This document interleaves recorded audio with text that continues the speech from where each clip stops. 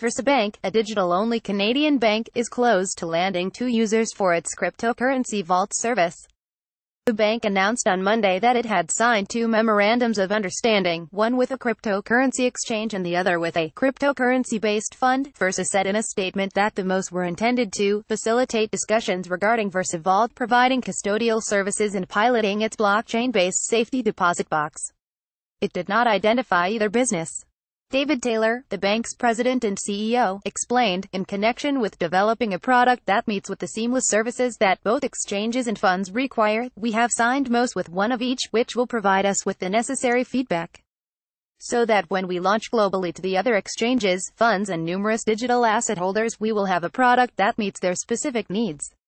The bank introduced its digital property storage service, dubbed VersaVault, in January, and claimed at the time that it would provide absolute privacy and security for digital valuables, namely cryptocurrencies. VersaBank plans to offer the service globally, and told Bloomberg in January that it expected to roll out VersaVault in June.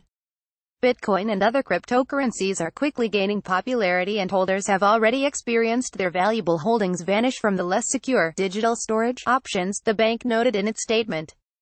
It continued, banks have always been known as the safest place to store physical valuables and it is the aim of VersaVault to provide the safest place to secure your digital valuables. VersaVault is the London, Ontario-based bank's first foray into the crypto industry.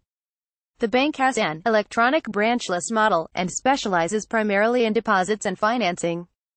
Safe Deposit Box Image via Shutterstock The leader in blockchain news, Coindesk is a media outlet that strives for the highest journalistic standards and abides by a strict set of editorial policies.